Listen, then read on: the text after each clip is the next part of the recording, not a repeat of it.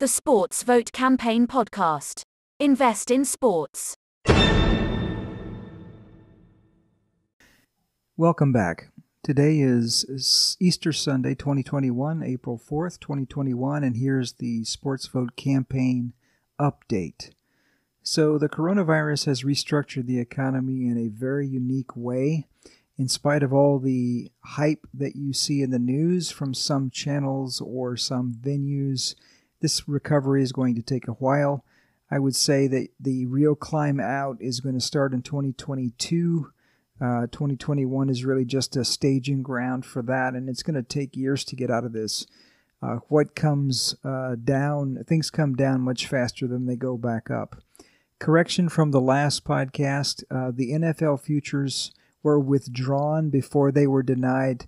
So they knew they were going to be denied. Really, the effect is the same, but I said that the NFL futures had been denied. They were actually withdrawn prior to being denied. So uh, please do continue, those of you that have accounts uh, with ASM, continue to trade with the bonus margin because it does build the data model, which is important for us, and it also builds your account value pending the conversion as described on the notice board uh, in that video uh, concerning bonus margin. Another correction uh, $1.5 million to rebuild ASM. I said over five years. It's really more than over six years at this point, over six years. So, um, you know, given given what was done with that and reestablishing everything and all the publicity and the people we had to hire, uh, that's not a lot. Uh, again, the rental property that uh, Ace and I live in here is worth more than that. So, and it's not a mansion. It's not by any stretch, not in this in this t- uh, part of the world. So, if you're tired of a crashing economy, um, I don't know. I've seen, goodness, five six crashes now in, in my adult lifetime. Uh, maybe we need some new thing, like maybe sports investing. So, again, the keys to the kingdom for us and for everybody else. Um, meaning everyone wins the stakeholders, the sports industry, the public at large. Everybody uh, is going to benefit from this. It's just one single uh, fundraise, league fundraise, whether it's esports or regular sports. Again, look at the show notes for uh, for the links and such. We even have a submission link there where you can submit the details of your uh, league or league idea to vet with a with the team. So, uh, World uh, WWE and DraftKings uh, partnership, uh, that's ridiculous. I um, grew up in Louisiana and I knew many professional wrestlers. Some of their, um, my friends' parents were professional wrestlers.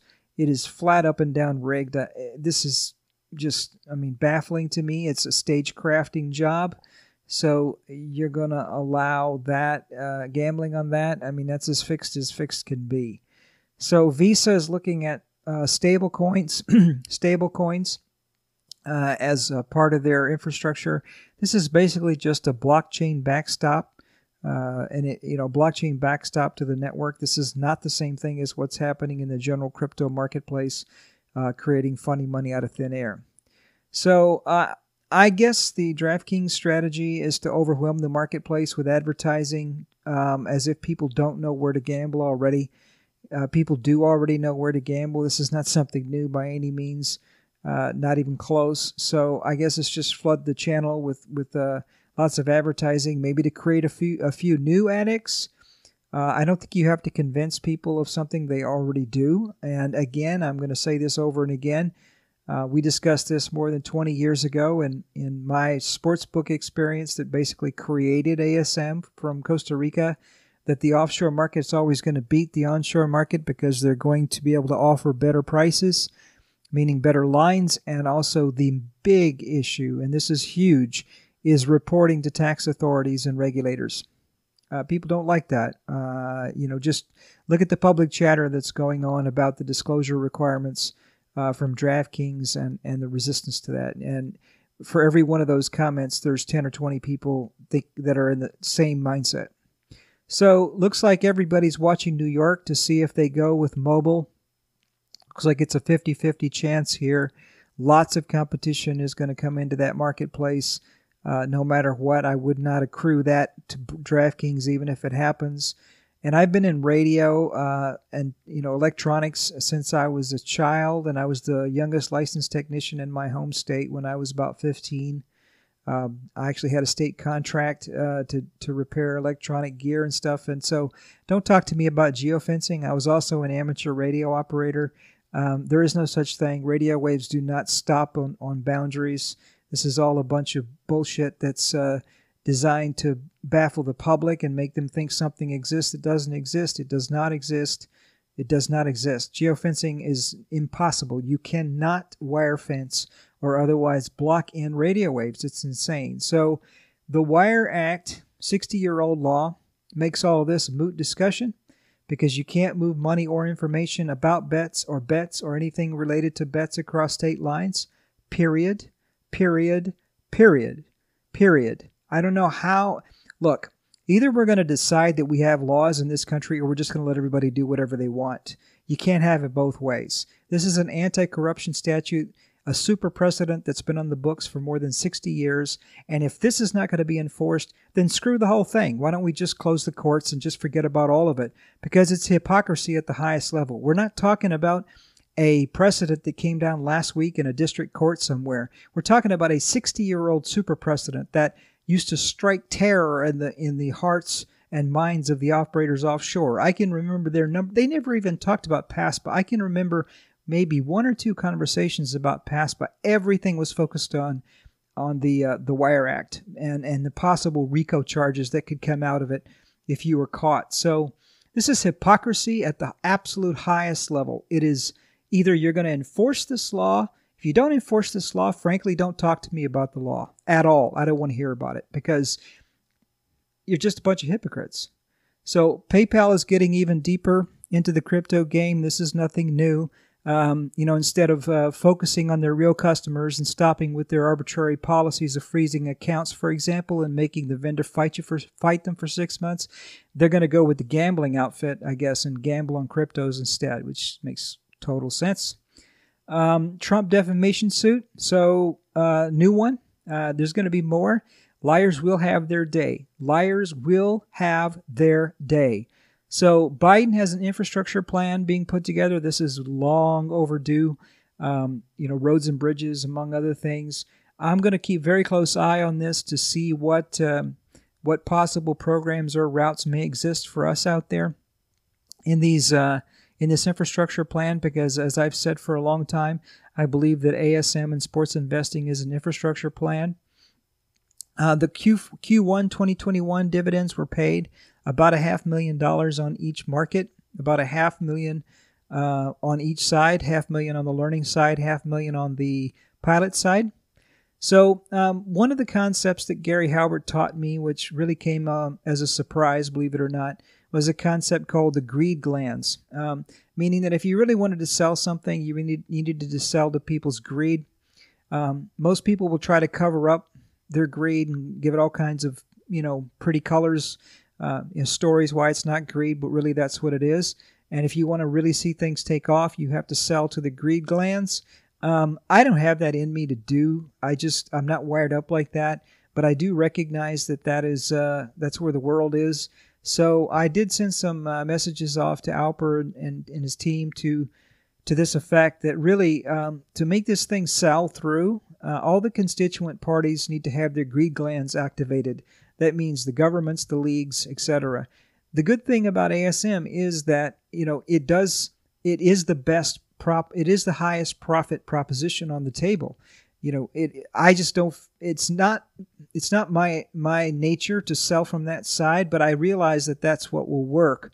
So somebody needs to do that. It needs to be sold that way to to every party that needs to buy in to make it work and it will deliver. So it's not a false promise unlike the gambling guys who never and i mean never make their numbers. They go in and they get a uh, a deal based on projections that don't even come close. I mean, do your own research. Don't believe me. It's it's all there to be found. It's always a lie. It's always way, way, way, way beyond. Um, the projections are way beyond the reality of it. And they, of course, never subtract the negative side, which is all the social costs that get laid back on society through increased crime, through increased bankruptcies, divorces, and all those things that basically end up as charges to the state. So the unemployment rate. Oh, one more thing. LinkedIn uh, featured one of my comments for the first time on their main newsfeed. Um, this is the first time I've seen this. So uh, the network building is is going very well, and and when the time comes, uh, this will be deployed uh, to. Uh, to recruit leagues and do basically, you know, the uh, I've got more than twenty. I think it's about twenty three hundred connections now. Um, this network, really, the thrust of that came from my Hero Club days and all the travels and such. This will have its moment uh, in the future for our benefit.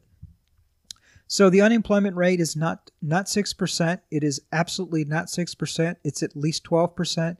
This kind of stuff drives me berserk. This constant mishandling of information in the public domain. This is not by a few percent. This is off by hundred percent. Okay, so all you have to do to verify that is look at the ongoing unemployment claims. That's people that are still certifying every week for unemployment. It's about 18 million right now, and then you divide it by the workforce, which is 160 million. And just the sources on this, there's no disputing. These are the real numbers. There's not even any spin out there on this. It's a flat math problem. So so they are the unemployment rate's at least 12% because that's not counting people who never qualified for unemployment insurance or they timed out of unemployment insurance or some other reason they basically are, are just not in the numbers at all. So these numbers are verifiable, they're off by 100%. So I, the question becomes so who cares, right? You know, this is a tough one. So one of the one of the really tough questions is so why should truth even matter, right? So why do the numbers matter? So what if they report it at 6% and it's 12%? Here's why it matters, okay? If you look around you and you wonder why things don't feel quite like I guess the core question is why does truth matter? But let's just break it down to why do the figures matter, right? Why does it why should this number these numbers be given to us straight? Because first, policy decisions are made based on these numbers. Okay, so that means public programs, that means all kinds of things, tax rates. So when you look around you and you you feel like something is wrong, right?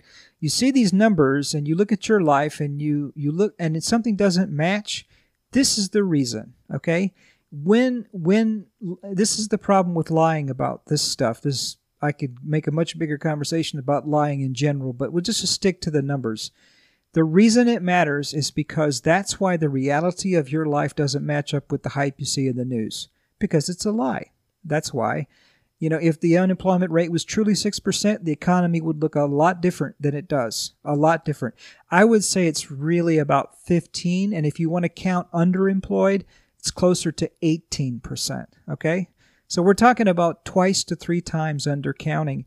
So when people are sitting at home wondering why they're depressed and why they don't have a job and why they can't pay the rent and why they're life is not matching up with the ads? Because you know the news comes oh jobs report 900,000 new jobs and whoa it's great it's blowout numbers blah blah blah blah blah and you look around you go but wait a second.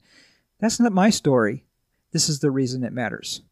So I don't know what to do about this, but it really burns my ass. And if I can figure out how to get this information out, I do what I can. I challenge the editors on LinkedIn that post up stories and get them angry with me. I'm like, well, they, you can get angry all you want. I, what have I said that's wrong here? Okay. Why are you guys doing this? Why, why are you puffing the numbers up a hundred percent? You're giving people a false picture of the world, which causes all kinds of problems. I mean, can cause people to commit suicide at the absolute extreme.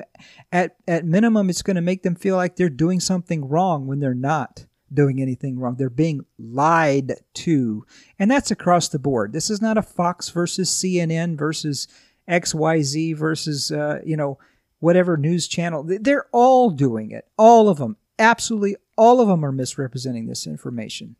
So Anyway, that's all. Uh, I hope you have a nice Easter if that's meaningful for you. Uh, you know, I'm not going to make any claims there on what the audience thinks of Easter, but this is Easter Sunday, and we are still in a pandemic. Please be careful. Um, I, you know, I personal contact with stories that are, I mean, there are people that are still dying of this. Um, you know, this is not flu season, so uh, please uh, forward this to anybody that you think might be interested including older ASM account holders that maybe have lost track of us Review it if you feel so inclined, and subscribe if you want to be notified when the new episodes come out. Thank you for your time, and have a nice afternoon.